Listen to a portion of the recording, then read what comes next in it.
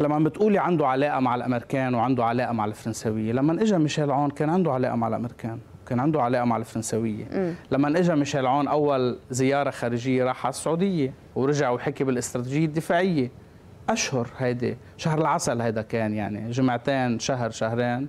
وبعدين بلشت سنوات اللي مش عسل تما نقول شيء ثاني بلشت سنوات التحدي تغطية سلاح الحزب تغطيه حربه آه، بسوريا واستمرار اعتداءاته على العرب باليمن وبغيرها لحزب الله. هل يختلف سليمان فرنجية عن ال profil الاستراتيجي والخارجي لميشيل عون؟ أبدا.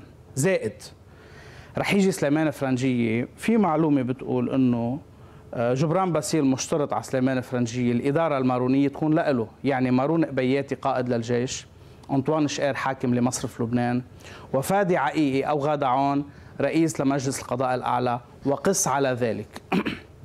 يريد جبران باسيل أن يحكم في الظل أن يكون الرئيس الثاني كما كان في عهد ميشيل عون من خلال سليمان الفرنجية واللي بيقولوا أنه لأ بيجي سليمان وسليمان قوي وشخصيته قوية وما بيقبل.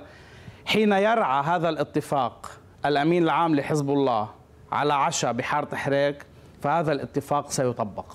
ما بيقدر سليمان الفرنجية يكب توقيعه على اتفاق من هذا النوع.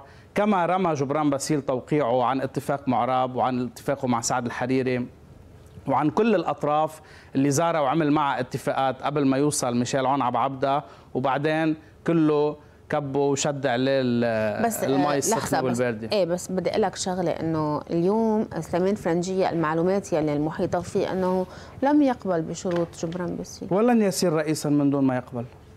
لن يأتي رئيسا سليمان إلا بكلبشات جبران باسيل. لسبب بسيط. ليه لحظه يحتاج ما إلى يحتاج ما في يكون إيه؟ ما في يكون ما في يصير رئيس جمهورية بعدد أصوات النواب من دون الصوت جبران باسيل؟ مستحيل. لن لأنه ما بيكون عنده ميثاقية مسيحية. م.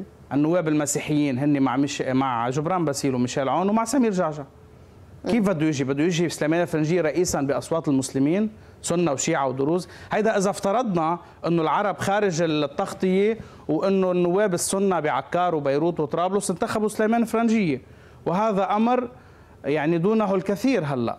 لأنه كمان رح نحكي بعد شوي آه، المعلومات بتقول إنه في تفكير جدي يتقدم بالمملكة العربية السعودية بالاجتماع والالتقاء مع قيادات القوى السيادية بلبنان بالفترة المقبلة. إما مجموعين وإما فرادى.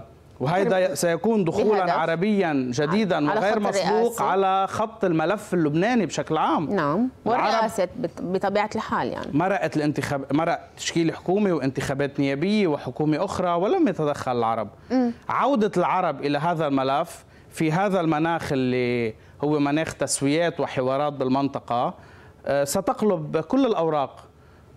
وبهذا المعنى النواب السنة ما رح يكونوا قادرين يعني يكونوا لوحدهم بهذا المعنى مثل ما عملوا مع انتخاب نبيه إيه. بري رئيس بري ما الذي يضمن دخول؟ اليوم عم تقول إنه في معلومات عن دخول آه عن تفكير جدي يتقدم. تفكير جدي يتقدم.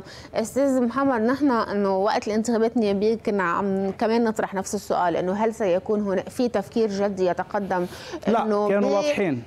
كانوا واضحين نحن ما خصنا. هلا شو صار بآخر لحظة بآخر ما كان في دخول جدي السعودية والعرب لم يشاركوا بالانتخابات النيابية م. كانت متروكة لإيران وللأن جي أوز بس ما كان السفير السعودي عم بيقوم بجولات باللحظات الأخيرة وهذا آه. لم يكن يعني نحن بعد هلا صرنا رح نصير باللحظات الأخيرة قبل الاستحقاق الرئاسي ولهلا ما في تدخل جدي استحقاق الرئاسي يختلف الانتخابات النيابية بدها ست أشهر وسنة شغل قبل م. استحقاق الرئاسي في واحد قبل شهر قبل جمعة. نعم. يصير في توافقات وتوازنات دولية ما حول اسم ما. يتغير ويتسوق ويتغير المعطى بس هذا ما بينعمل بالانتخابات النيابية. م. المسألتين مختلفتين. م. بالانتخابات النيابية في 128 ناخب فقط.